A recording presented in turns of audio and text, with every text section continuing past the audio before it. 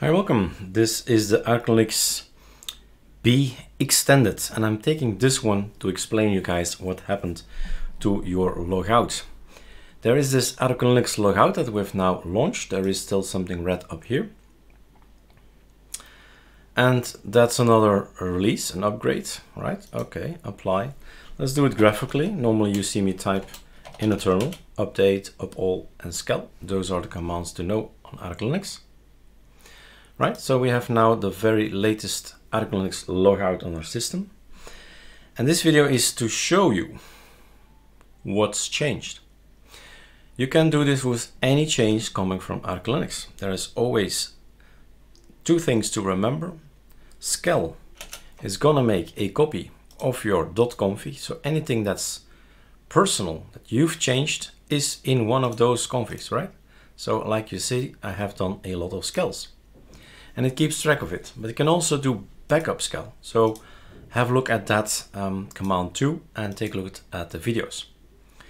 Now I'm choosing this extended version, right? Arco Linux B extended, because we are talking about eight desktops. And the tutorial is already created, arcolinux.com. The last article on there is about switching to Arco Linux logout, right? So that's written.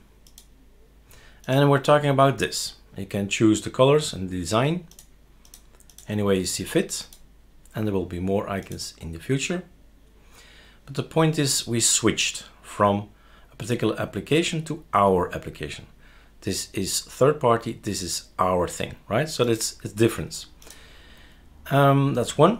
Two, there was a reason, of course, to change as well, because we don't want to be dependent on the package builds of OBLogout, which was an issue a few weeks ago uh, with a certain package.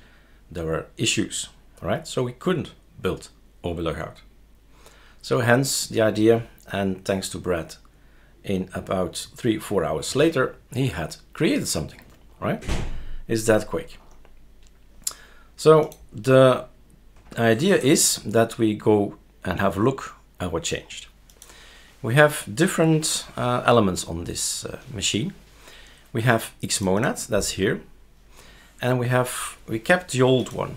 So you can do control with this. So keep pressed, uh, keep control pressed and then you have selected these two guys and then you meld always, you compare. The application is called meld.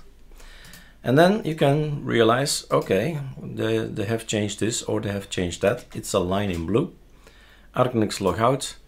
Here it says OB logout. Here it says Arco Linux Arco logout. And that's basically it.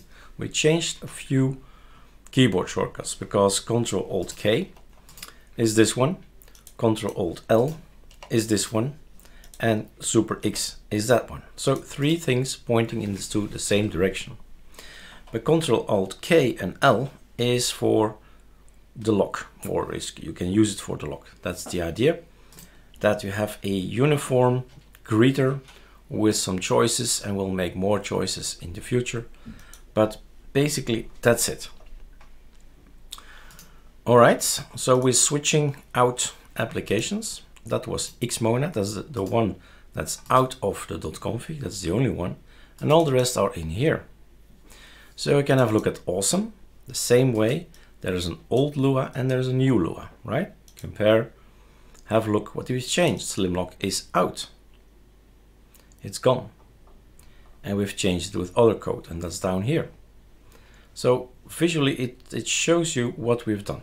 You can keep track of what we've done. This way. That was awesome.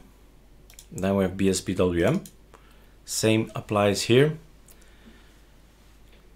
Here is nothing old, right? It's in here.